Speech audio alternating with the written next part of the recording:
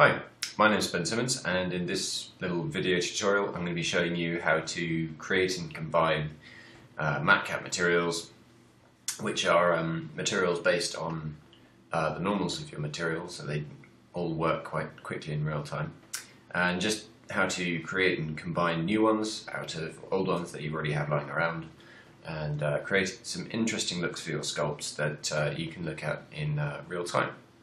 So for this little demonstration, what I've got here is a sculpt I did a little while ago of a sort of four-armed alien creature type thing.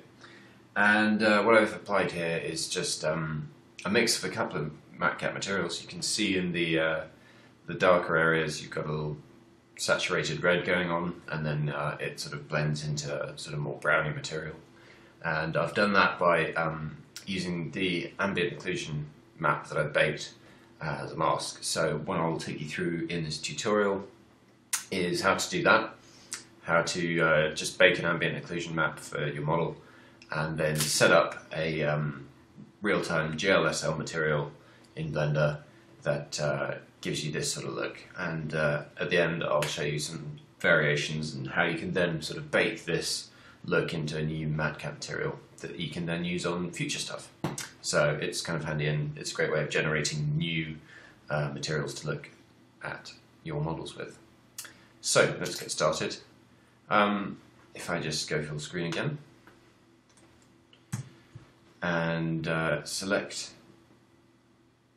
my model here and for now I'll just hit F on uh, the material to give it a fake user so it's not deleted when I get rid of it. So, jumping back to regular shading mode, what I want to do first is create a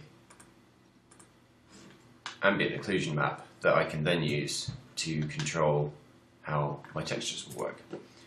Now, already I've uh, just created a UV layout and you can see on the left here I've actually already baked my ambient occlusion map. I'll take you through the stages for doing that later. So if I just split off the window here by right clicking on border and create a new properties window in between, I can then go into the bake settings here in the render panel. And um, if I just tap, uh, select my mesh, tab into edit mode. And then in the UV image editor I'm going to go image, new image and it doesn't need to be huge because it's only there to uh, create sort of blend between two textures. So it can be 1024 by 1024 I'll just call that AO it doesn't need an alpha channel so I'll turn that off. And then hit OK. And now I will bake an ambient occlusion map. So in the bake settings here, I just set my bake mode to ambient occlusion, make sure normalize is checked, and hit bake. And that'll take a little while. And uh, there we go. If I tab back into uh, object mode, you can see that although I've used some fairly low settings here, I uh, have got my ambient occlusion map and in fact what I might do is just go into my world settings set my ambient occlusion up properly so if I turn the samples up to maybe 16 and use adaptive QMC which usually gives me better results I'm just going to hit bake on that again. And uh, it might take a little longer this time but I'll get nice smooth results on my ambient occlusion map.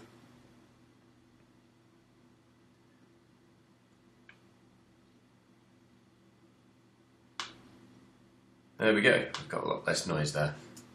So now I can use this map to do all sorts of things with my MatCap materials. So I'm going to save that as an image. And then start setting up a material.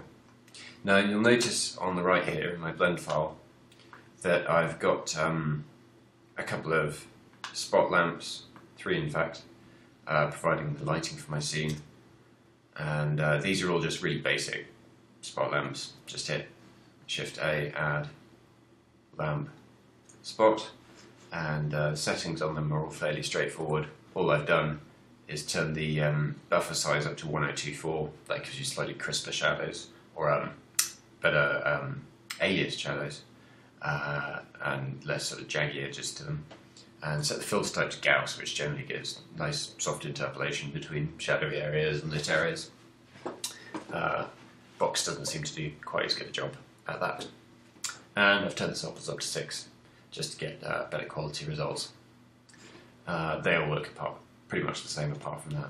So I've just got a little three point lighting set up, one from above here, one from sort of the side and in front, and one from the back, just to light up his back a bit. Now, basically what I want is a setup that gives me real-time results. Now, I'm screen recording, so the frame rate is a little choppy, but I assure you that uh, generally this displays in real time.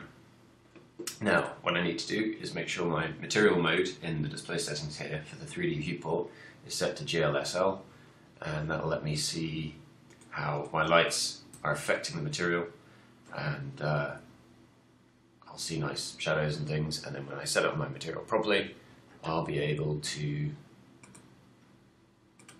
display my MatCap materials. So, let's go through the process of creating and combining MatCap materials. Now, your standard um, material that we're going to set up this way is just going to use one image and we're going to map that image to the normals of the mesh. So for now, let's set this material to shadeless so you can see the effect that a MatCap material would have, say, when you're sculpting. If I jump into the textures here and just add a new one, call it matcap. I've got a few in the blend file already, so I'll call this one matcap 7 and set the type to an image. And if I jump into my matcap texture folder and select one I like the look of, this is what I'm a fan of. Uh, you can see if I set that as my image, I get kind of weird looking results, and that's because I haven't changed the mapping coordinates yet to normal. And you can see when I do that, it snaps to being fairly recognisably a uh, matcap image uh, and uh, affects my material correctly. So that's pretty much all I need to do to set up a basic matcap material. And uh, these are really useful for sculpting, obviously, but uh, also it's kind of a nice way to present your final models really quickly and easily. Um, and it'll look exactly the same when you render it. If I hit F12 here, you'll see that apart from now being obviously uh, anti-aliased, and uh, at a higher resolution it looks exactly the same as it does in 3D viewport which is really nice and uh, if I hit only render and hide my uh, lamps and things you can see it's uh, quite a clean uh, simple way to display a model in 3D viewport that's a lot more aesthetically pleasing than using um, the standard OpenGL shaders. but what we can do is then start using Blender's material system to combine different matcap materials and create new ones. And uh, this can give us some really interesting results. Uh, so the first thing I'll do is just show you, for example, adding another matcap material and blending between the two. This is an interesting way to create just a new material. So let's call it this matcap 8. Uh, set it to image again and open up a different matcap material image.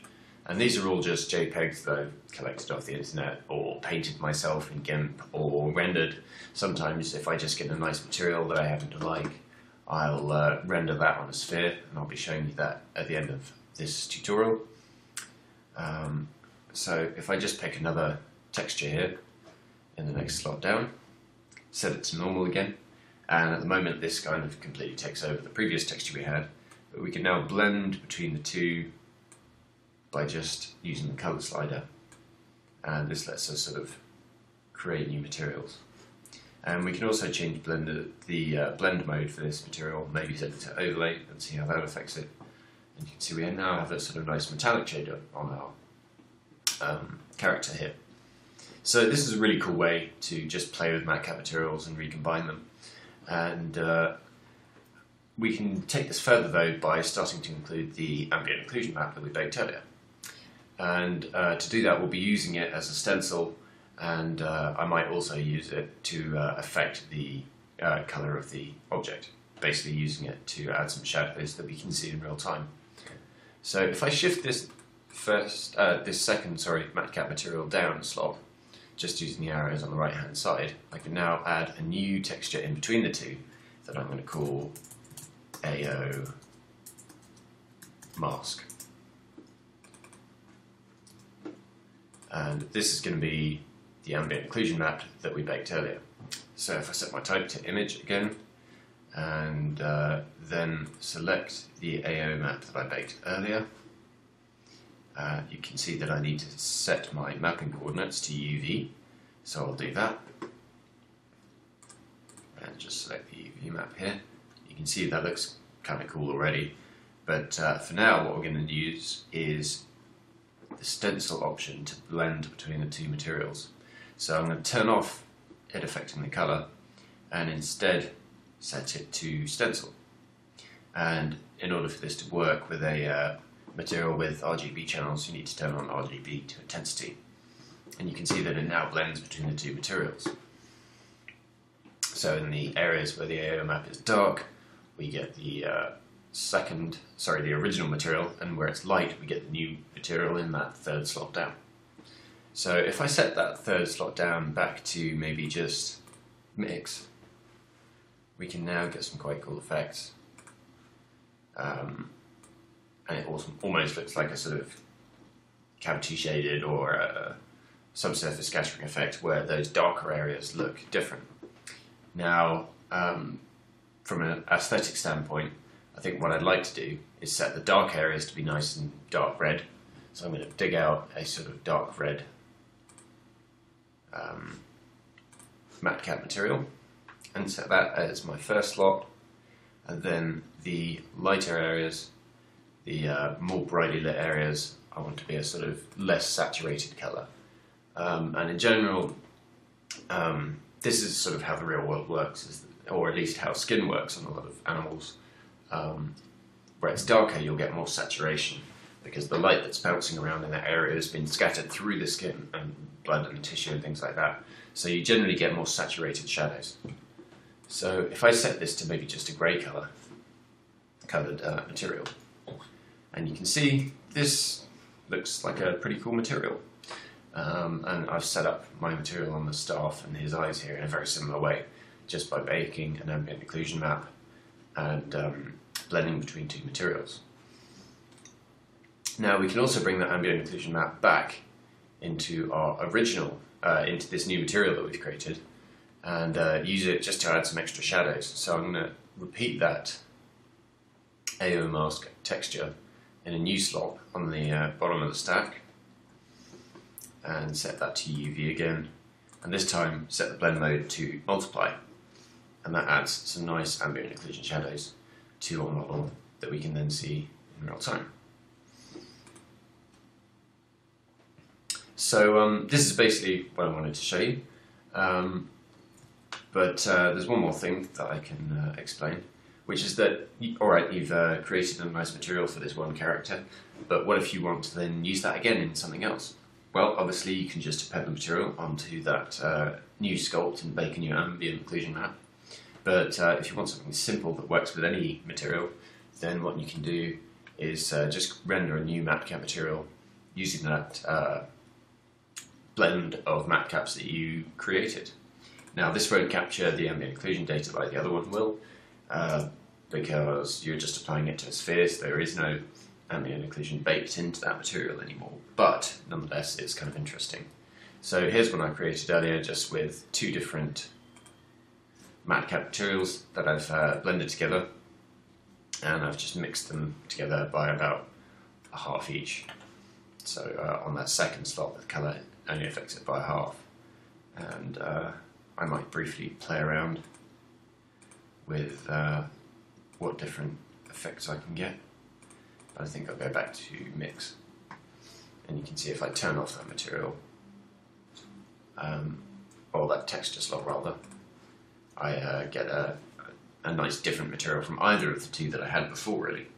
Um, and so what I've set up in this little second scene is just a really basic render setup uh, with a single camera, and that's got an orthographic lens, and the size is set so that it just clips off the edge of the sphere, and that's very important because when I now hit render and uh, render this sphere, you can see it extends just a bit beyond the edges, and that'll stop you getting um, strange aliasing artifacts and um, weirdness in the texture mapping when you use this render as um, a new matcap texture.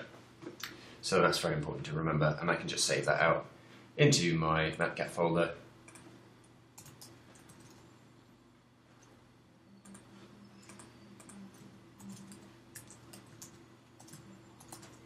As that.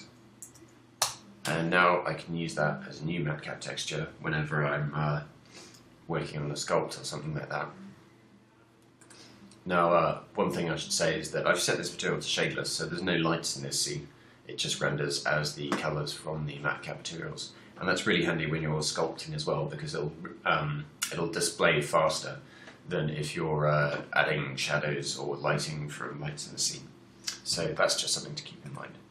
Anyway, this has been a, uh, a tutorial on uh, yeah how to create these matcap materials and blend them together and things like that and uh, I think you can get some really interesting effects from it. Uh, you can see here there are a few that I've created earlier. So the one I showed you at the beginning of the tutorial, which is sort of is a blend between a nice reddy colour in the dark areas and a brown, but I've also blended uh, together a couple of other options. So this one has some nice lighting, um, adding in some green highlights and orange areas, and that's just from a second matcap uh, texture that I grabbed off the internet and uh, mixed with another one. And uh, this third material that I created, again using the same process, is uh, almost a sort of, I don't know, avatar-like look, uh, where I've blended together a, one blue texture and one pink that I uh, painted myself. And uh, I think it creates a sort of really interesting matcap to show off the model with or um, just get an idea of how you might start texturing it. You could even uh, bake the uh, resulting texture into the uh, textures for starting doing some actual um, color textures for your model.